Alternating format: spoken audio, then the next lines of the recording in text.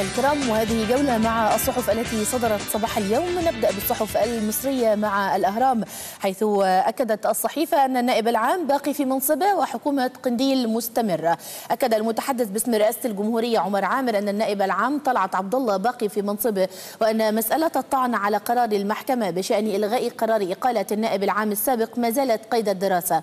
وأضاف عامر أن حكومة الدكتور هشام قنديل مستمرة أيضا في أداء عملها مشيرا إلى أن الجميع يتفقون على أن المرحلة الحالية تحتاج إلى قدر مناسب من الاستقرار.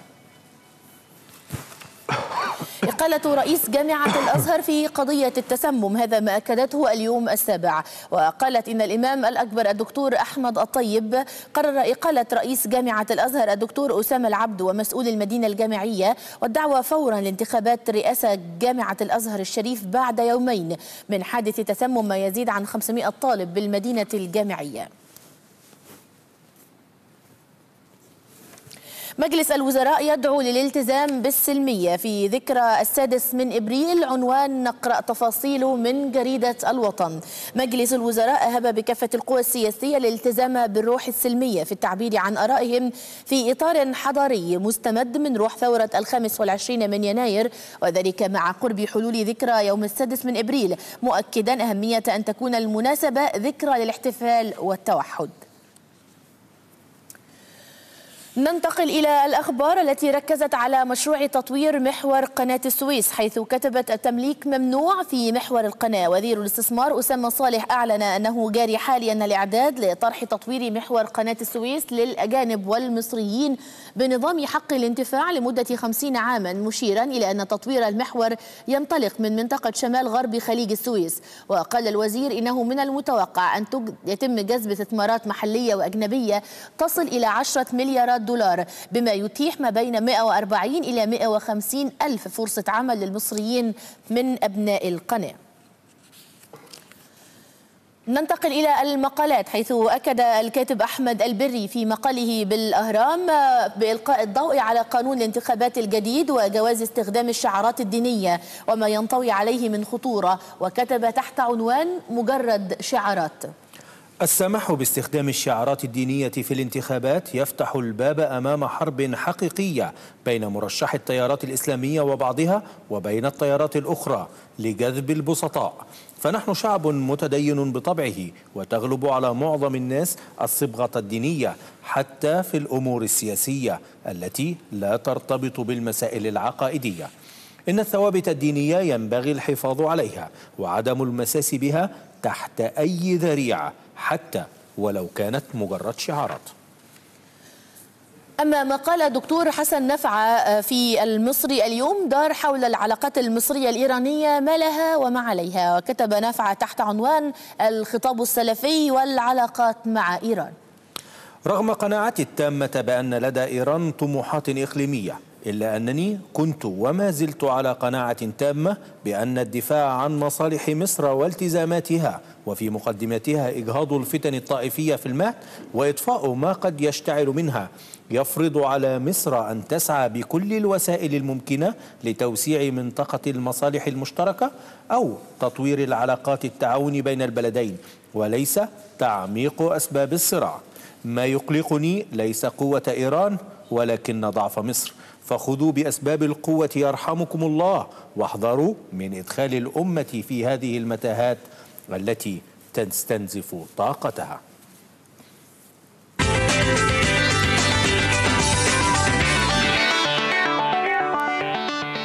ننتقل إلى الصحف العربية التي صدرت اليوم ولا يزال الشأن السوري هو الأبرز والمسيطر على صفحات الجرائد العربية. من عمان العمانية نقرأ الجيش النظامي السوري يوسع غاراته الجوية.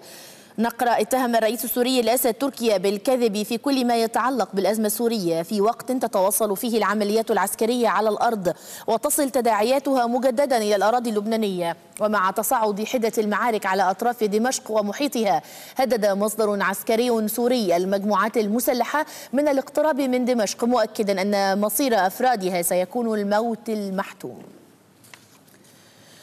فلسطينيا نتحول ونقرأ عن استشهاد الأسير أبو حمدي الذي احتل المنشطات الرئيسية لكل الصحف العربية اليوم. نطالع من الراية القطرية خبرا تحت عنوان 4600 أسير يبدأون معركة الأمعاء الخاوية. وتقول تفاصيل إن 4600 أسير في السجون الإسرائيلية بدأوا لمدة ثلاثة أيام إضرابا عن الطعام احتجاجا على استشهاد أبو حمدية في الخليل. وفي الخليل عفوا مسقط رأس الشهيد أغلقت المحال التجارية وشهدت المؤسسات المصرفية والمرافق الحياتية والحركة التعليمية إضرابا كاملا استجابة لدعوة القوى الوطنية والإسلامية. حلايب تتصدر مباحثات البشير ومرسي خبر نطالع من الوطن السعودية.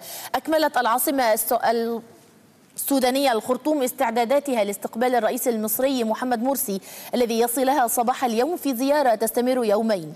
يجري خلالها مع نظيره السوداني البشير مباحثات لدعم العلاقات الثنائية بين البلدين وزيادة التبادل التجاري والاستثماري بالإضافة إلى مناقشة عدد من القضايا وفي مقدمتها منطقة حلايب.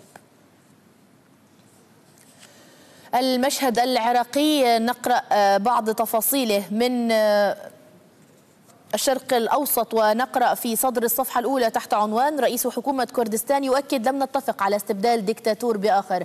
نفى رئيس حكومة كردستان العراق أن يكون الأكراد يفكرون في الانفصال ولكنه شن هجوما لاذعا على رئيس الوزراء العراقي المالكي متهما إياه بسياسة تقوم على الهيمنة والسيطرة مؤكدا أن العراق لن تقبل باستبدال ديكتاتور بآخر وأن الجميع في العراق شركاء في الوطن. افتتاحية البيان الإماراتية جاءت عن القضية الفلسطينية والأسرى في سجون الاحتلال ونقرأ منها تحت عنوان تصعيد إسرائيلي في بو من بوابة الأسرى. كما كان متوقعا بدأت إسرائيل بالتصعيد ضد الفلسطينيين عقب زيارة الرئيس باراك أوباما للمنطقة واختارت الشروع بملف الأسرى مع استشهاد الأسير ميسر أبو حمدية في سجون الاحتلال نتيجة الإهمال الذي لاقاه. وذلك بتصريح أمريكي بعد أن أكد أوباما على أن أولوية أمريكا لأمن إسرائيل. لكي تملأ إسرائيل موقفها بالتناقض فإنها اتهمت السلطة بمحاولة استغلال حادثة استشهاد أبو حمدية لتصعيد الأوضاع لكي يتم تنفيذ السيناريو الذي رسمته إسرائيل بدقة وهو دخول الطرف الفلسطيني إلى أي مفاوضات محتملة وهو مدان بالتصعيد.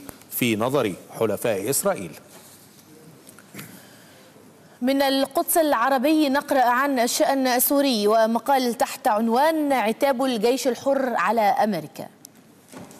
تتصاعد بكثافة انتقادات المعارضة السورية والجيش السوري الحر للولايات المتحدة ورئيسها باراك أوباما بسبب رفض تصليح المعارضة بأسلحة حديثة متطورة لحسم الحرب عسكريا لصالحها وصالح الهدف الأساسي وهو الإطاحة بالنظام الأسدي الغاشم.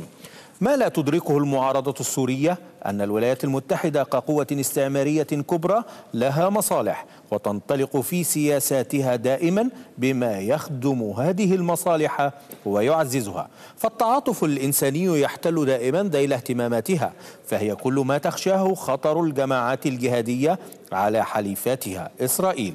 لذلك لن تدعم المعارضة السورية.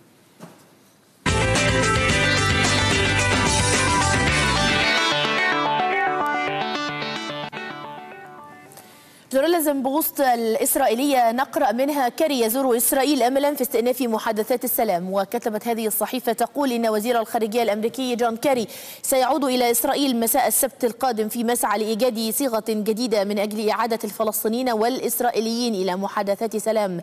تستند إلى إيماءات من شأنها بناء الثقة بين الجانبين ومن بين الأفكار التي سيتم طرحها. إطلاق إسرائيل لسراح الأسرى الفلسطينيين. وتعهد الجانب الفلسطيني بالإحجام عن اتخاذ المزيد من الخطوات أحادية الجانب في المحافل الدولية.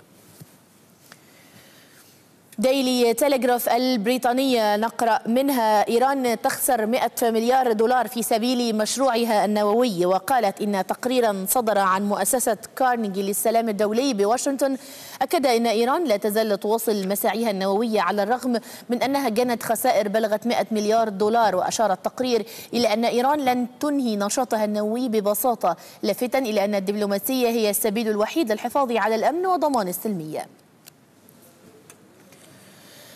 أما التصعيد في شبه الجزيرة الكورية فقد تناولته لوموند الفرنسية وطرحت تساؤلا عن حقيقة التهديدات الكورية الشمالية في المنطقة وقالت بيونغ يانغ تمتلك ترسانة نووية كبيرة قادرة على إطلاق كافة أنواع الصواريخ سواء كانت قصيرة أو متوسطة أو طويلة المدى.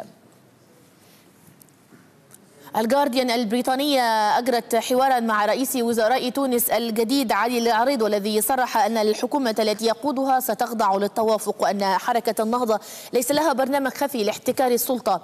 متابعا أن تونس تمر بفترة تحول حرجة للغاية قدمت فيها حركة النهضة تنازلات من أجل تهدئة الوضع المتوتر وتريد أن تحكم البلاد بالتوافق.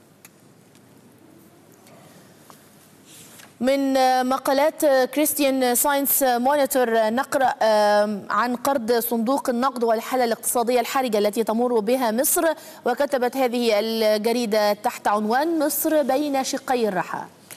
مصر باتت بين شقي رحى الحاجة إلى الدعم الدولي والحاجة إلى رعاية الفقراء. بينما الوقت يمضي فمصر الآن في حاجة ماسة إلى أموال صندوق النقد الدولي. ولكن أموال الصندوق تتطلب اتخاذ تدابير قاسية من قبل حكومة مضطربة منذ البداية. النظام في مصر بات يواجه خيارات أكثر صعوبة بخلاف رغيف العيش. تتمثل في أن مساحة المناورة السياسية أخذت في التآكل بعد أن أدى الاضطراب السياسي إلى تجميد عملية اتخاذ القرار في ظل تراجع قيمة الجنيه المصري وارتياب الدائنين الأجانب. الواشنطن بوست الأمريكية كتبت في مقالها حول احتمالات الحرب ما بين الولايات المتحدة وكوريا الشمالية تحت عنوان أمريكا تسعى لاحتواء التهديدات النووية لكوريا الشمالية. إدارة الرئيس الأمريكي باراك أوباما تسعى جاهدة بعد أكثر من أربعة أعوام انتهجت فيها السبل الدبلوماسية إلى احتواء التهديدات النووية التي تشكلها كوريا الشمالية وإيران على أمن الولايات المتحدة. إن الطموحات النووية لكلا الدولتين سبقت وتجاوزت خطوات إدارة أوباما التي صبت جهودها على اتباع سبل الدبلوماسية الدولية لمنع إيران من تطوير سلاح نووي ووقف كوريا الشمالية من استئناف برنامجها النووي بعد أن ظل عالقا طيلة أعوام إلا أن حقيقة المشهد تشير إلى أن الإدارة الأمريكية وحلفائها الأوروبيين والأسيويين أيضا بدوا بعيدين عن حل أي من القضيتين.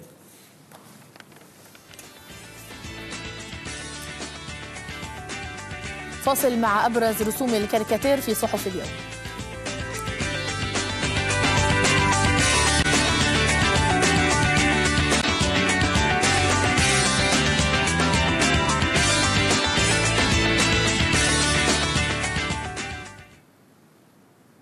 وانتهت هذه الجولة الملتقى إخباريا دائما على رأس الساعة. في أمان الله.